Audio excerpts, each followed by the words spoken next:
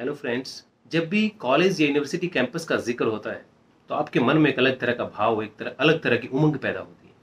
जो लोग यूनिवर्सिटी या कॉलेज में पढ़े हैं, जब जब भी ज़िक्र होता है कैंपस का तो उनके यादें जो है जहन में ताज़ा हो जाती हैं। जब भी आप कोई फ़िल्म देखते हैं और वहाँ पे किसी कैंपस का सीन है, वहाँ कोई सॉन्ग शूट किया गया है, कोई स्टूडेंट लाइफ पे कोई पिक्चर बनी है फ़िल्म बनी है तो उसको देख करके आपको अपने दिन याद आ जाते हैं। ठीक इसी तरह आजकल एडमिशन का दौर चल रहा है। और जो स्टूडेंट्स अब तक स्कूल में रहे, जिन्होंने स्कूल की दहलीज को भी पार किया है, और यूनिवर्सिटी या कॉलेज के कैंपस में कदम रखने को बेताब हैं, आतुर हैं लेकिन उनको चाव है वहाँ पे कदम रखने का कि हम नए सपने लेकर के कि कुछ करेंगे लाइफ में और वहाँ की लाइफ कैसे होगी, उसको लेकर के बहुत ही वो एक रोमांचित नज़र आते हैं। साथ ही अपने करियर को लेकर कॉन्शियस भी हैं कि वहाँ हम करियर जो है, उसकी नींव कैसे रखेंगे, कैसे खुद को आगे बढ़ाएँगे, कैसे देश को आगे बढ़ाएँगे। अलग अलग विश्वविद्यालयों में, महाविद्यालयों में एडमिशन शुरू हो चुके हैं। कुछ जगह एंट्रेंस से एडमिशन हो रहे हैं, कहीं पे मेरिट के बेस पे एडमिशन हो रहे हैं तो अलग अलग विश्वविद्यालय, महाविद्यालय तैयार हैं इन होनहारों के स्वागत के लिए। लेकिन अगर आप किसी भी विश्वविद्यालय में, महाविद्यालय में दाखिला लेने का प्लान बना रहे हैं तो सभी विद्यार्थियों को कुछ ऐसे पॉइंट्स हैं, कुछ मेजर पॉइंट्स हैं जिनको ध्यान में रखना बहुत ज़रूरी है। अगर स्टूडेंट्स इन पॉइंट्स पे ध्यान देते हैं तो उनकी जो कॉलेज लाइफ है यूनिवर्सिटी लाइफ है, वो और ज़्यादा यादगार हो सकती है।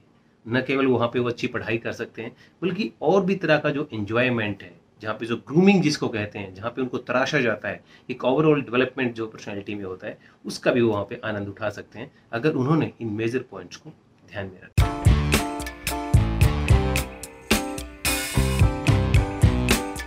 सबसे पहले, जहाँ भी आप एडमिशन लेना चाहते हैं, किसी भी विश्वविद्यालय में, महाविद्यालय में आप एडमिशन लेना चाहते हैं तो ये ज़रूर देखें कि वहाँ की फैकल्टी कैसी है। जिन लोगों ने आपको पढ़ाना है, वो लोग कैसे हैं? उनकी क्वालिफिकेशन क्या है? उनका एक्सपीरियंस क्या है? उनका स्पेशलाइजेशन क्या है? और हो सकता है तो आप उनसे मिल भी सकते हैं। आप उनसे अपनी करियर की जो एक तरह से एम्बिशंस आपके हैं, आपकी प्लानिंग जो है वो उनसे आप डिस्कस भी कर सकते हैं। अपना जो कोर्स आपको चुनना है, उस संबंध में उनसे काउंसलिंग गाइडेंस भी आप ले सकते हैं। तो अगर संभव है तो उस संस्थान तक आप पहुँचें और वहाँ की जो फैकल्टी है, उससे आप मिलें। ऑनलाइन भी आप देख सकते हैं वेबसाइट पे आप देख सकते हैं प्रोफ़ाइल बहुत सी यूनिवर्सिटी और कॉलेज जो है उनकी प्रोफ़ाइल जो है प्रोफेसर्स की टीचर्स की, वहाँ पे होती है वेबसाइट पे भी। वहाँ भी देखिए, और संभव हो तो आप उनसे मिल भी सकते हैं। बिकॉज़ जो फैकल्टी जहाँ पे जितनी अच्छी होगी, वही आपके करियर को उतना अच्छा शेप देगी। तो बिंग अ स्टूडेंट जहाँ पे आप एडमिशन लेना चाहते हैं, पता कीजिए वहाँ की फैकल्टी कैसी है।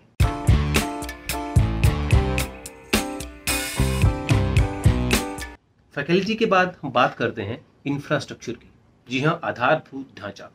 यानी आधारभूत ढांचा आपने देखना है कि वहाँ पे रूम्स किस तरह के हैं लाइब्रेरी किस तरह की है कंप्यूटर लैब जो आज की बहुत तगड़ी ज़रूरत है। यानी जितनी भी तरह की सुविधाएँ आपको उस कैंपस में चाहिए, बहुत जो बेसिक नीड्स जो हैं कि आपकी वहाँ पूरी हो रही हैं तो इंफ्रा कैसा है, ये भी आपको देखना चाहिए। ये आपको पता लगेगा वेबसाइट पे आप देख सकते हैं, या विज़िट करें तो ज़्यादा बेहतर रहेगा। बिकॉज़ वेबसाइट पे कई बार चीज़ें अच्छे से नज़र नहीं आती हैं, या हु जैसी वो होती हैं, वैसी कई बार दिखाई नहीं जाती हैं। तो अच्छा रहेगा कि आप कैंपस को विज़िट कीजिए।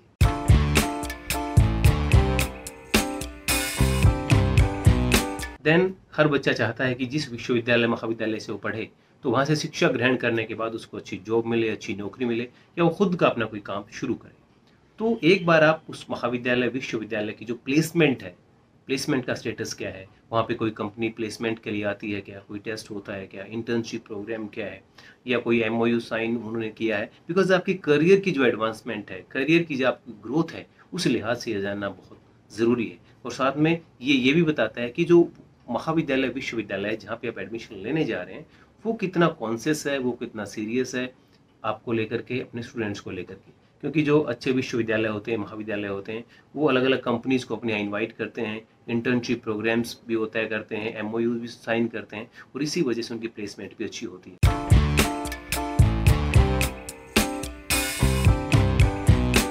जितना ज़रूरी इंफ्रास्ट्रक्चर है, जितना ज़रूरी प्लेसमेंट और फैकल्टी है, उतना ही ज़रूरी होता है एम्बियंस एम्बियंस मतलब परिवेश। आप देखेंगे बहुत अलग अलग विश्वविद्यालय हैं, जहाँ पढ़ाई का माहौल जो है वो आपको देखना होता है। विश्वविद्यालय हो सकता है बहुत बड़ा नाम हो, लेकिन वहाँ पे पढ़ाई का कोई माहौल है कि नहीं है आपको देखना होता है। हो सकता है राजनीतिक बातें ज़्यादा होती हों एकेडमिक वहाँ पे माहौल है कि नहीं, वहाँ पे सिक्योरिटी के लिहाज से आपको देखना कि हम यहाँ सिक्योर हैं कि नहीं। और ये चीज़ें आप वहाँ जा कर के जो वाइब्स हैं, उससे आपको पता चल जाता है। जब आप दो या तीन बार विज़िट कर लेते हैं कैंपस का, वहाँ के लोगों से बात कर लेते हैं तो आपको पता लग जाता है कि वो कितना सही है। तो ये देखना बहुत ज़रूरी हो जाता है कि वहाँ एकेडमिक या आपकी ओवरऑल डेवलपमेंट के लिए कैसा परिवेश है, कैसा माहौल है?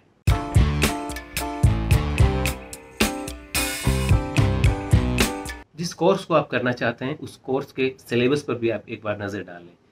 आपका महाविद्यालय जो है उस जिस जो भी कोर्स आप करने जा रहे हैं, उसमें या विश्वविद्यालय है, उसका सिलेबस क्या रहेगा, कैसे डिवाइड किया गया है, उसको थेरी कितने का रहेगा, कितने प्रैक्टिकल एग्ज़ाम है, इन सब चीज़ों पे आप एक बार नज़र डाल लें बिकॉज़ आप उस सब्जेक्ट से आने वाले दिनों में जुड़ने जा रहे हैं तो आपको इसके बारे में अच्छे से पता होना चाहिए, ताकि पहले से आप प्रिपरेशन कर लें, पहले एक आपका माइंड सेट हो कि किस तरह की चीज़ें मुझे आने वाले समय में करनी है थ्योरी में क्या करना है प्रैक्टिकल में क्या करना है असेसमेंट के लिए कितना वेटेज रखा गया है तो ये सारी चीज़ें जो सिलेबाई है, उसको आप देख करके जाएँ तो आपका एक माइंड मेकअप रहता है और आप अपडेटेड रहते हैं और एक पूरी तैयारी के साथ आप दाखिला लेने के बाद अपनी पढ़ाई शुरू करते हैं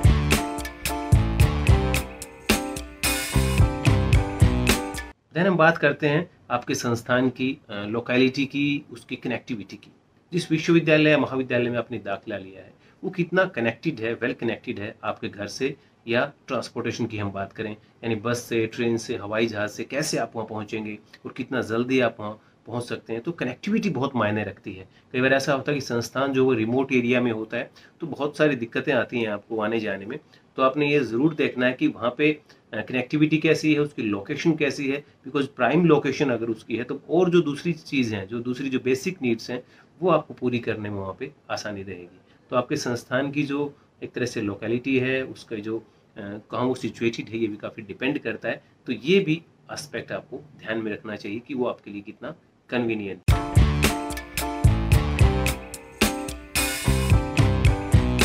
देन एफिलिएशन एफिलिएशन आप देखें कि कौन सी यूनिवर्सिटी से एफिलेटेड है आपका कॉलेज अगर आप कॉलेज में पढ़ रहे हैं और साथ में आप ये भी देखें कि आपका जो कोर्स या आपका जो कॉलेज है, वो लीगल होना चाहिए, वो मान्यता प्राप्त होना चाहिए, जो नॉर्म्स सारे गवर्नमेंट के पूरे करता हूँ, ताकि लेटर स्टेज पे जा करके आपको किसी भी तरह की दिक्कत ना हो, आपके करियर में कोई इशू ना हो बिकॉज़ अगर आप वहाँ पे समय बर्बाद करते हैं और वो लीगल नहीं है, या वो सारे नॉर्म्स पूरे नहीं करता है तो आपकी जो टाइम है वो बहुत बर्बाद होगा और टाइम इज़ मनी और आप वहाँ समय जो अपना लगाएँगे, संसाधन जो आप लगाएँगे, वहाँ पे वेस्ट हो जाएगा। इसलिए आप उसको चेक कर लें वेबसाइट पे आप चेक कर सकते हैं। बहुत से ऐसे ऑथेंटिक गवर्नमेंट वेबसाइट्स हैं जहाँ से आप क्रॉस चेक कर सकते हैं कि जिस संस्थान में आप दाखिला लेना जा रहे हैं वो कहाँ से एफिलेटेड है, वो लीगल भी है कि नहीं, वो कहीं फ्रॉड तो नहीं है। और आप देख के जाते हैं कि बहुत सी यूनिवर्सिटीज़ ऐसी हैं जो फ्रॉड होती हैं या फेक होती हैं, उनकी लिस्ट भी जारी की जाती है गवर्नमेंट के डिपार्टमेंट्स की तरफ़ से, उस पर भी एक नज़र डाल के जाएँ।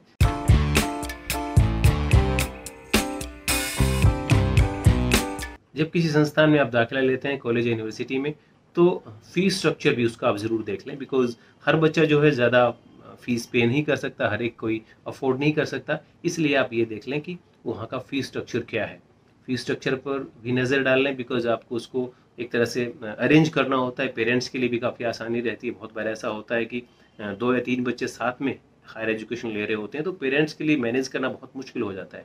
इसलिए आप साथ में ये देखें कि कंपैरिजन कर लें आप।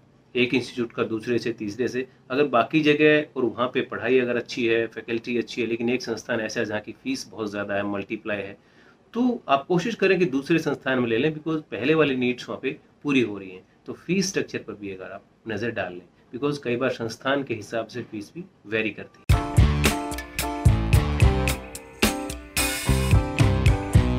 देन इन सब पॉइंट्स को ध्यान में रखते हुए अगर आप वहाँ पे दाखिला लेने का मन बना लेते हैं, किसी खास कोर्स को ऑप्ट करने का मन बना लेते हैं, किसी यूनिवर्सिटी या कॉलेज को आप सिलेक्ट कर लेते हैं तो एक बार अगर आपके पास समय है और समय आपको निकालना चाहिए तो उस पर्टिकुलर डिपार्टमेंट जहाँ पे एडमिशन आप लेना चाहते हैं, वहाँ पे आपको जाना चाहिए और वहाँ आपके डिपार्टमेंट के जो पहले के स्टूडेंट हैं, जो आपके सीनियर हैं या पास आउट भी अगर आपको कोई मिल जाता है तो वहाँ से एक फीडबैक ज़रूर लें कि जिस डिपार्टमेंट में मैं दाखिला लेने जा रहा हूँ वहाँ पे फैकल्टी कैसी है, वहाँ पे किस तरह की एक्टिविटीज़ होती हैं और मेरे को जो मैं मकसद, जिस मकसद के साथ मैं आया हूँ, उस मकसद को पूरा करने में ये डिपार्टमेंट मेरी कितनी मदद करेगा। बिकॉज़ वो आपको एक एक्चुअल रिपोर्ट देंगे, वो आपको एक सही, एक तरह से न्यूट्रल वे में स्टूडेंट से आपको फीडबैक मिलेगा बिकॉज़ वो भी वहीं पढ़े हैं तो वो आपको एक, हो सकता है कोई एडवर्टीजमेंट में, प्रचार में प्रमोशन में, वहाँ पे कोई यूनिवर्सिटी या कॉलेज अपने को बढ़ा चढ़ा के बता सकता है। लेकिन अगर आप वहाँ के अपने सीनियर्स से मिलेंगे जो पास आउट हुए हैं या आपसे आगे पढ़ रहे हैं अभी नेक्स्ट क्लासेस में तो आप उनसे पूछेंगे तो आपको एक जेन्यून फीडबैक मिलेगा। तो डी स्टूडेंट्स ये कुछ पॉइंट्स हैं मेजर पॉइंट्स हैं, जिनको आपको ज़रूर ध्यान में रखना चाहिए किसी भी कॉलेज या यूनिवर्सिटी में कदम रखने से पहले। एक ख़ास बात आप ध्यान रखें, ये आपकी ज़िंदगी के सबसे बेहतरीन साल है। जो कॉलेज के तीन या उसके बाद एमए आप करते हैं पाँच साल, चार से पाँच साल जो आपके हैं, एक तरह से आप गोल्डन इरा कह सकते हैं अपनी लाइफ का।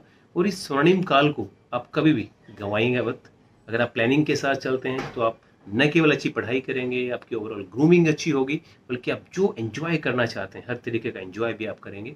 लेकिन वो तब होगा जब आप एक बैलेंस्ड अप्रोच के साथ यूनिवर्सिटी या कॉलेज कैंपस में कदम रखेंगे तो यकीनन आपके सपने ज़रूर पूरे होंगे। Wish you all the best keep in touch आप देख रहे थे मास्कोम जंक्शन जुड़े रहे हमारे साथ। धन्यवाद।